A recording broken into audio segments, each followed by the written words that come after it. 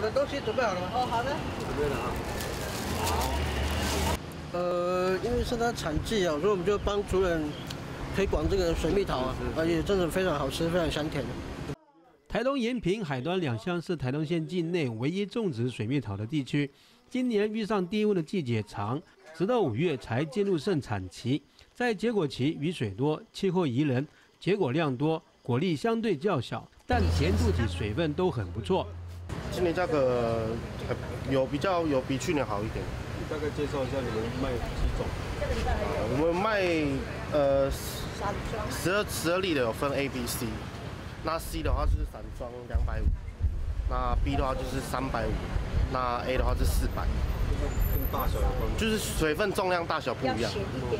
水蜜桃今年结果量多，除了套袋的水蜜桃外，还有未蔬果的果实也结实。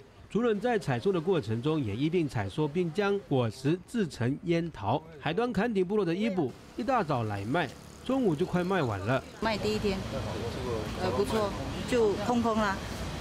哎，因为今天好像有上报嘛，嗯哼，所以今天好像都陆陆续续都有客人。今年的水蜜桃产季将持续到六月初，每盒价格从四百元到两百五十元。